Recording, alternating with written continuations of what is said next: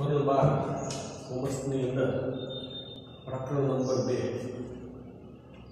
આર્થિક વૃદ્ધિ અને આર્થિકના, આર્થિક વિકાસના નિર્દેશકો જે છે, એની આપણે ચર્ચા કરતા હતા, જેની અંદર જીવનની ભૌતિક ગુણવત્તાનો આંક.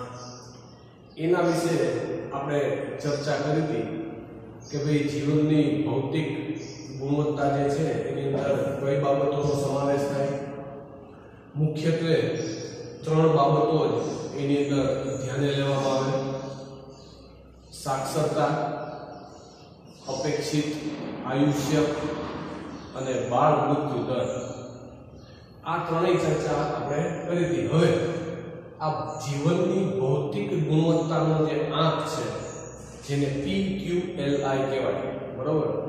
એની રચના કઈ રીતે થાય, એની આપણે ચર્ચા કરવા જઈ રહ્યા છીએ. જેમાં દરેક નિર્દેશ, શિક્ષણ, આયુષ્ય, બાળ મૃત્યુ દરને સોનો ભાર આપવામાં આવે છે. ત્રણેય બાબતો અને તેત્રીસ તેત્રીસ ટકાનો ભાર આપવામાં આવે. કઈ કઈ બાબતો? તો કે એની અંદર સમાવિષ્ટ મુખ્ય ત્રણ બાબતો છે તે.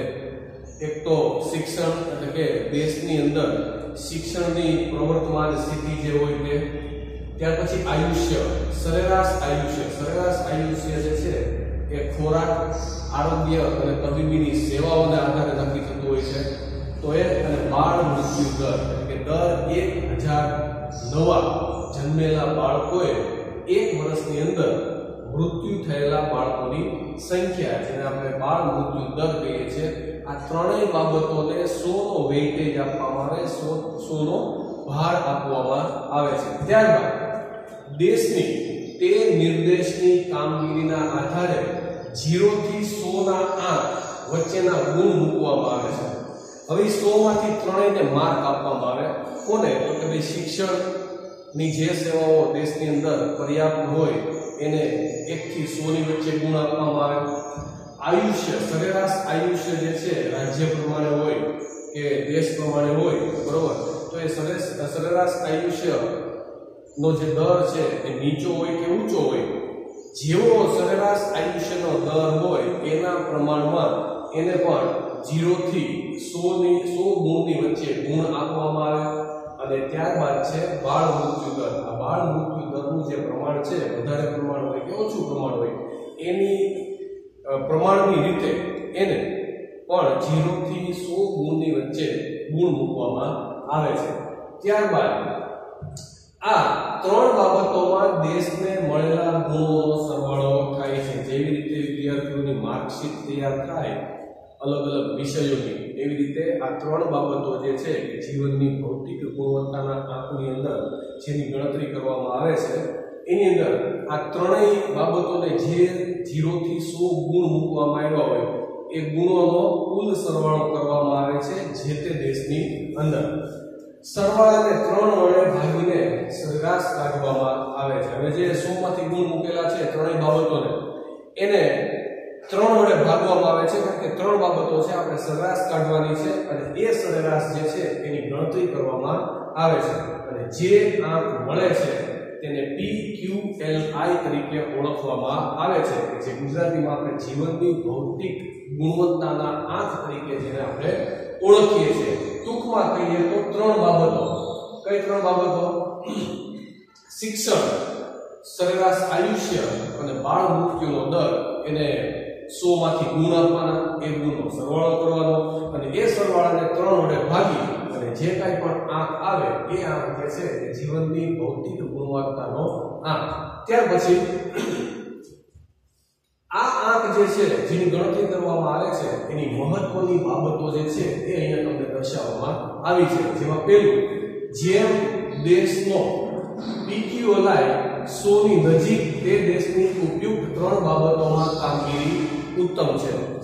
એટલે જે દેશ છે, એની સરેરાશ 100 ની જેમ વધુ નજીક હોય, તો આપણે એવું કહી શકીએ કે જે તે દેશની અંદર આ ત્રણ બાબતો જે છે, બરોબર? કે જે ત્રણ બાબતોની આપણે ગણતરી કરી છે, એ ઉત્તમ છે, સારી સગવડતા મળે છે, એવું આપણે કહી શકીએ, બરોબર? દાખલા તરીકે કોઈ એક દેશ છે, એનો, જે આંક છે, એ 90 ની ઉપર છે. કોઈ બીજા દેશનો આંક જે છે એ 80 ની નજીક છે, કોઈ ત્રીજા દેશનો આંક છે 70 ની નજીક છે. તો આ ત્રણમાંથી જેને વધારે ગુણ પ્રાપ્ત થયા હોય જે બાબતની અંદર જેની સરેરાશ ઊંચી આવી હોય, એ જે દેશ છે એની અંદર આ ત્રણ બાબતો જે છે એની કામગીરી ઉત્તમ છે એવું આપણે કહી શકીએ. જેમ દેશોનો પીક્યુએલઆઈ ઝીરોની નજીક, તે દેશની ઉપયુક્ત ત્રણ બાબતોમાં કામગીરી કનિષ્ઠ એટલે કે ઉત્તરની કક્ષાની કામગીરી છે, નબળી કામગીરી છે, એવું આપણે કહી શકીએ, બરોબર? દેશનો પીક્યુએલઆઈ જે છે, બરોબર? આપણે જે ગણતરી કરીએ, જે સરેરાશ કાઢીએ છીએ, એ જેમ ઝીરોની નજીક હોય ઝીરોની નજીક હોય, એનો મતલબ એવો કે એ દેશની અંદર આ ત્રણ બાબતો જે છે, એ ત્રણેય બાબતોની અંદર કામગીરી, સરકારની કામગીરી જે છે, એ કેવી છે? ઉત્તરની, ઉત્તરથી કક્ષાની છે, અથવા તો કનિષ્ઠ કામગીરી છે એવું આપણે કહી શકીએ. PQLI હંમેશા 0 થી 100 ની વચ્ચે જ હોઈ શકે, કારણ કે 100 માંથી ગુણ આપેલા છે ત્રણેય બાબતોને, અને એને 3 વડે ભાગાકાર કરેલો છે, એટલે હંમેશા જીવનની ભૌતિક ગુણવત્તાનો જે આંક છે, એ શેની વચ્ચે હોય? 0 થી 100 ની વચ્ચે જ હોઈ શકે. PQLI ના આંકથી એક જ દેશના બે રાજ્યો કે જુદા જુદા દેશોની તુલના થઈ શકે. અલગ અલગ દેશોની આ ત્રણ બાબતો લઈ અને તમે અલગ અલગ દેશોની તુલના પણ કરી શકો. એવી જ રીતે ભારત દેશની જો વાત કરવામાં આવે તો અલગ અલગ જે રાજ્યો છે, એ રાજ્યો વચ્ચે જો તમારે તુલના કરવી હોય તો અલગ અલગ રાજ્યોની આ ત્રણ બાબતો જે છે એને 100 માંથી ગુણાંક આપી અને ત્રણ વડે ભાગી અને તમે એનો આંક મેળવી શકો છો. આવી રીતે અલગ અલગ દેશ અને અલગ અલગ રાજ્ય જે છે, એની તમે તુલના પણ કરી શકો છો. જેમ પીક્યુએલઆઈ નો આંક ઊંચો, તેમ દેશનો આર્થિક વિકાસ વધારે. જેમ આ આંક છે, એ ઊંચો હોય, એટલે આપણે અગાઉ પણ વાત કરી કે 100 ની નજીક હોય, બરોબર? તો એનો મતલબ એવો છે કે જે તે દેશનો આર્થિક વિકાસ જે છે એ પણ ઊંચો છે અથવા તો વધારે છે એવું આપણે કહી શકીએ. અને જેમ PQLI નો આંક છે નીચો, એમ એ દેશનો આર્થિક વિકાસ પણ ઓછો છે એવું આપણે કહી શકીએ. બરોબર? 0 ની નજીક હોય તો એની કામગીરી નબળી છે, એટલે કે આર્થિક વિકાસ ઓછો છે.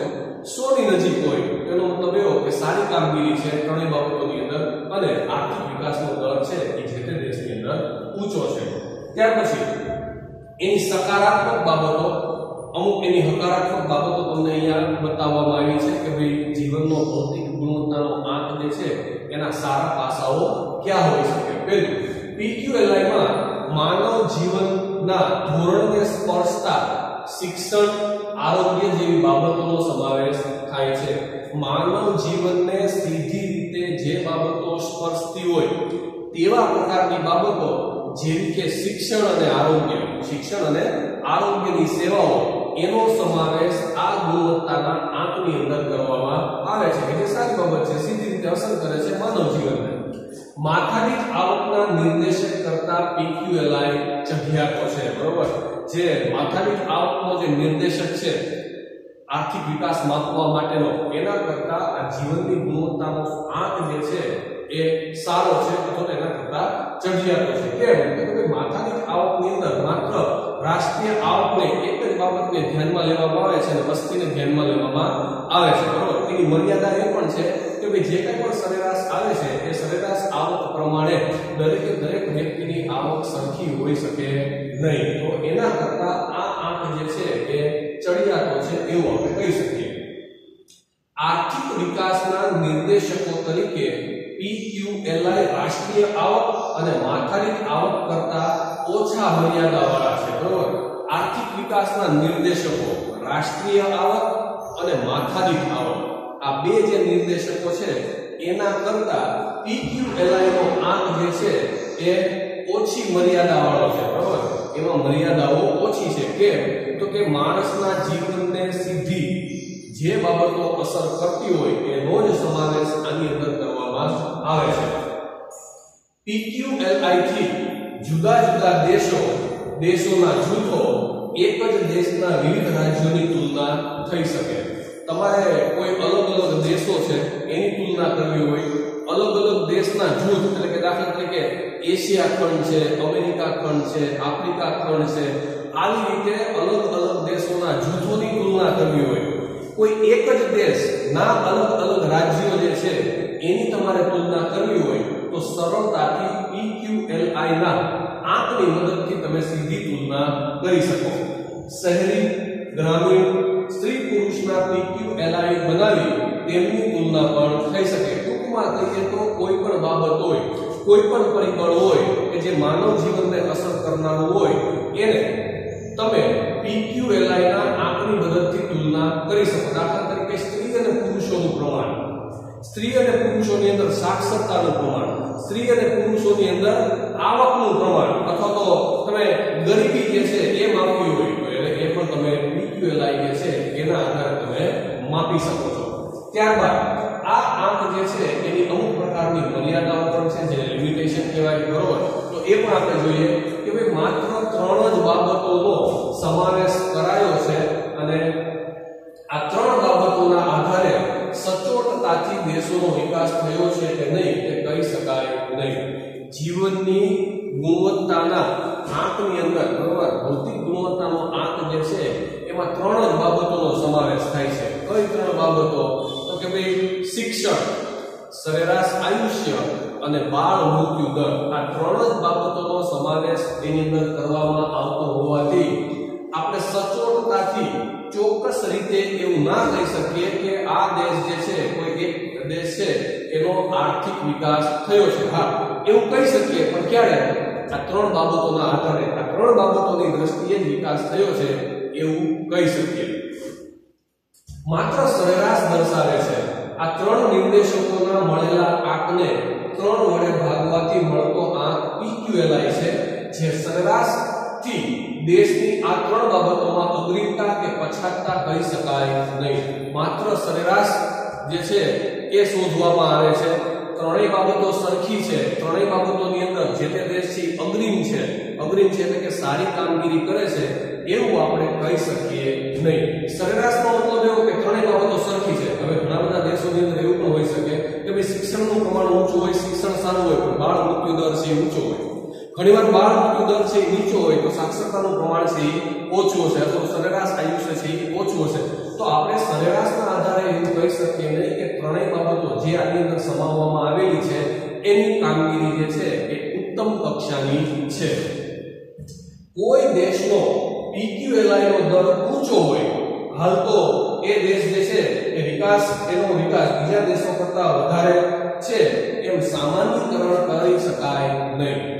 આપણે સરખામણીની વાત કરી, તુલનાની વાત કરી કે ભાઈ આ આંકના આધારે એક દેશની બીજા દેશ સાથે આપણે સરખામણી કરી શકીએ, તુલના કરી શકીએ, બરોબર? પણ બની શકે એવું કે દાખલા તરીકે ભારત દેશની જો વાત કરીએ, તો ભારત દેશની અંદર સરેરાશ આયુષ્ય અમેરિકા કરતાં ઓછું છે. બાળ મૃત્યુનો દર જે છે એ અમેરિકા અમેરિકા કરતા ઓછો છે. તો એ બાબતોની અંદર આપણે જો જોવા જઈએ, તો સરેરાશ જો કાઢી અને તુલના કરવામાં આવે, તો આપણે ચોક્કસ પ્રમાણે ચોક્કસ પ્રમાણે સચોટતાથી એવું સામાન્યકરણ ન કરી શકીએ કે ભાઈ અમેરિકા જે છે, અમેરિકા, એનો આર્થિક વિકાસ ભારત દેશ કરતા વધારે છે. કારણ કે આપણી જે સારી બાબત છે એ એની નબળી બાબત છે. તો આવી રીતે સીધી કોઈ પણ દેશનો આર્થિક વિકાસ ઊંચો છે એવું આપણે સામાન્યકરણ કરી શકીએ નહીં. ત્રણ ધોરણોના આધારે માનવ જીવનમાં એક સરખું મહત્વ અપાય છે, જે કયો યોગ્ય છે. ત્રણેય બાબતોને એક સરખું મહત્વ આપવામાં આવે. જીરો થી 100 ની વચ્ચે ગુણ આપવામાં આવે. એક જ સરખું જો મહત્વ આપવામાં આવે. તો કઈ યોગ્ય કહેવાય નહીં. શિક્ષણનું જેટલું મહત્વ છે, એટલું જ આયુષ્યનું મહત્વ છે. આયુષ્યનું જેટલું મહત્વ છે એટલું બાળ મૃત્યુ દરનું મહત્વ છે, એવું આપણે કહી શકીએ નહીં. ત્રણેય બાબતો ક્યારેય સમાન હોઈ શકે નહીં. ત્રણેય બાબતોને ક્યારેય એક સરખો ભાર આપી શકાય નહીં. જીવનની ભૌતિક ગુણવત્તાના આંકમાં આવક વૃદ્ધિ મહત્વની છે, જેની ઉપેક્ષા કરી છે. આવક વૃદ્ધિ પણ હોવી જોઈએ. જો આવક ઊંચી હોય આવક વધારે પ્રમાણમાં હોય, તો સારામાં સારું શિક્ષણ આપણે મેળવી શકીએ, સારામાં સારી આરોગ્યની સેવાઓ મેળવી શકીએ. આપણું જે સરેરાશ આયુષ્ય છે એ ઊંચું આવે, બરોબર? આવકની વૃદ્ધિ થતી હોય આવક વધારે હોય, તો બાળ મૃત્યુ દર જે છે એ પણ આપણે ઘટાડી શકીએ, બરોબર? તો ટૂંકમાં કહીએ તો આવક વૃદ્ધિ જે છે એ મહત્વનું પાસું છે કોઈ પણ દેશના આર્થિક વિકાસની અંદર. જેની અહીંયા ઉપેક્ષા કરવામાં આવી છે, એટલે એની અહીંયા અવગણના કરવામાં આવી છે એને અહીંયા ક્યાંય ધ્યાને લેવામાં આવ્યું નથી. ધનિક દેશોની PQLI વધવાની ગતિ ધીમી હોય છે કારણ કે સરેરાશ આયુષ્ય અમુક હદથી વધારે વધારી શકાય નહીં. વિકસિત દેશોની જો વાત કરવામાં આવે, અમેરિકા છે, ઇંગ્લેન્ડ છે, ઓસ્ટ્રેલિયા છે, જાપાન છે, આ બધા દેશો જે છે વિકસિત રાષ્ટ્રો કહેવાય છે. અમુક હદ કરતા વધારે સરેરાશ આયુષ્ય પછી વધી શકતું નથી, બરોબર? અમુક એનું લેવલ આવી જાય, અમુક એનું સ્ટાન્ડર્ડ આવી જાય, એનાથી વધારે સરેરાશ આયુષ્ય જે છે, એ વધારી શકાતું નથી, બરોબર? તો એવું આપણે ન કહી શકીએ કે ભાઈ અમેરિકા જે છે, કે વિકસિત કોઈ રાષ્ટ્ર જે છે, એનો આર્થિક વિકાસ ધીમો છે, બરોબર? એ સ્થિર થઈ જાય છે, અમુક લિમિટ આપણે અમુક પ્રમાણની અંદર આયુષ્ય સરેરાશ આયુષ્ય કોઈ સરેરાશ આયુષ્ય પહોંચ્યા પછી એ શું થઈ જાય છે? સ્થિર થઈ જાય છે, બરોબર? હવે આજની સ્થિતિ શું છે? આ જીવનનો ભૌતિક ગુણવત્તાનો આંક જે છે એની આજની પરિસ્થિતિ કેવા પ્રકારની છે? આજની સ્થિતિ શું છે? એ અહીંયા આપેલી છે. વિશ્વમાં બે હજાર ત્રણ પછી PQLI ની ત્રણ બાબતોને આધારે બનતા આંકને બદલે તેમાં માનવ જીવનને સ્પર્શતી બીજી ત્રણ બાબતોનો સમાવેશ કરી જીવનની ગુણવત્તાનો આંક તૈયાર કરવામાં આવે છે, જેને QLI ક્વોલિટી લાઈફ ઇન્ડેક્સ તરીકે ઓળખવામાં આવે છે. વિશ્વની અંદર 2003 પછી શું થયું? કે ભાઈ, પહેલા તો QLI ની અંદર જીવનની ભૌતિક ગુણવત્તાનો જે આંક છે ત્રણ બાબતોનો સમાવેશ થતો હતો. એ ત્રણ બાબતોના બદલે હવે એની અંદર વધારો કરવામાં આવ્યો. એમાં માનવ જીવનને સ્પર્શતી હોય એવી વધારાની બીજી ત્રણ બાબતોનો ઉમેરો કરવામાં આવ્યો અને જેના આધારે હવે નવેસરથી જીવનની ગુણવત્તાનો આંક, જેને QLI કહેવાય, એ તૈયાર કરવામાં આવે છે. એમાં છે માનવ વિકાસનો આંક. માનવ વિકાસનો આંક જેને HDI કહેવાય, human development index. Human development index જે છે એની અંદર વળી પાછી 2003 થી ત્રણ બાબતોનો સમાવેશ કરવામાં આવ્યો છે તો ત્રણ બાબતો છે એમાં સમાવવામાં આવેલી છે. એચડીઆઈ તૈયાર કરવામાં મહત્વની ભૂમિકામાં ભારતના અર્થશાસ્ત્રીઓનો ફાળો છે, બરોબર? આજે હ્યુમન ડેવલપમેન્ટ ઇન્ડેક્સ જે છે, માનવ વિકાસ આંક જે છે, એ તૈયાર કરવામાં ભારતીય અર્થશાસ્ત્રીઓ જે છે, એનો મહત્વનો ફાળો છે, એનો ખૂબ વધારે પ્રમાણમાં ફાળો છે. જુદા જુદા દેશોમાં થતા વિકાસના પ્રયત્નોનું મૂલ્યાંકન કરી આંક તૈયાર થાય છે. અલગ અલગ દેશોની અંદર જે વિકાસના પ્રયત્નો કરવામાં આવે છે, વિકાસ કરવા માટેના જે પ્રયત્નો થાય છે, એના આધારે એનું મૂલ્યાંકન કરી અને આ જે હ્યુમન ડેવલપમેન્ટ ઇન્ડેક્સ જે છે HDI નો આંક જે છે, એ તૈયાર કરવામાં આવે છે. 1990 થી એચડીઆઈ ને માપવા માટે જે વિવિધ ન્યૂનતમ અને મહત્તમ મૂલ્યનો ઉપયોગ થતો હતો, જેમાં 2010 માં સુધારો કરવામાં આવ્યો આમ જોવા જઈએ તો 1990 થી એચબીઆઈ જે છે, બરોબર, એની ગણતરી કરવામાં આવે છે. એમાં અલગ અલગ પરિબળો, અલગ અલગ પાસાઓ જે છે, ન્યૂનતમ અને મહત્તમ. ઓછામાં ઓછા અને વધારેમાં વધારે જે મૂલ્યો હોય, અથવા તો એનો જે મૂલ્ય છે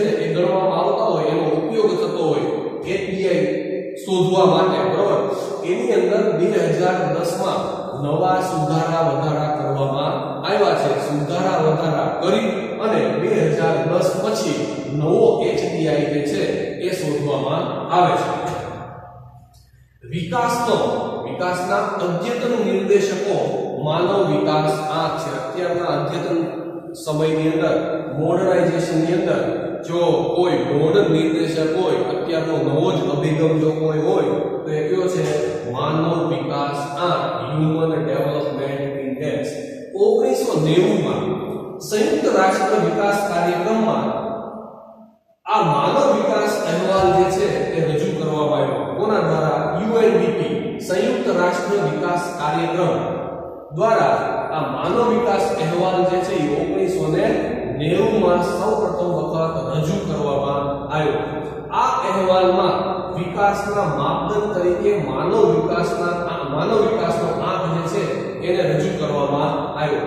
આ જે અહેવાલ હતો, આ જે રિપોર્ટ હતો, એની અંદર વિકાસના માપદંડ તરીકે કોઈ પણ દેશનો આર્થિક વિકાસ માપવો હોય, એના માપદંડ તરીકે, એના મેઝરમેન્ટ તરીકે આ એચડીઆઈ હ્યુમન ડેવલપમેન્ટ ઇન્ડેક્સ જે છે, એનો સમાવેશ કરવામાં આવ્યો છે. એચડીઆઈ માં આર્થિક માપદંડોની સાથે બિન આર્થિક માપદંડ ઉપર વધુ ભાર મૂકવામાં આવ્યો છે. એચડીઆઈ જે છે, એની અંદર આર્થિક માપદંડ તો છે, પણ એના કરતાં પણ વધારે મહત્વ, એના કરતાં પણ વધારે મહત્વનો કોઈનો ફાળો હોય, તે બિન આર્થિક માપદંડ છે ટૂંકમાં કહીએ તો. એચડીઆઈ ની અંદર આર્થિક કરતા બિન આર્થિક જે માપદંડ છે એના ઉપર વધારે ભાર મૂકવામાં આવ્યો છે, બરોબર? તો વિદ્યાર્થી મિત્રો, આપણે કઈ રીતે જીવનનો ભૌતિક ગુણવત્તાનો આંક જે છે એની ગણતરી કરવી, ત્રણ બાબતોના આધારે, એ આપણે જોયું. એની એના ફાયદા અને મર્યાદાઓ પણ જોઈ. ત્યાર પછી 2010 થી એટલે કે 2010 થી જે નવો સૂચકાંક જે છે, બરોબર? નવો ભૌતિક ગુણવત્તાનો જે આંક છે, માનવ વિકાસ આંક એચડીઆઈ જેને કહેવાય, એ શું છે એની આપણે ચર્ચા કરી. હવે પછીના આગળના લેક્ચરની અંદર અહીંથી આગળ માનવ વિકાસ આંકના ફાયદા એને કેવી રીતે ગણતરી કરવામાં આવે છે, એની અંદર કઈ ત્રણ બાબતોનો સમાવેશ થાય છે, એની ચર્ચા આપણે કરશું.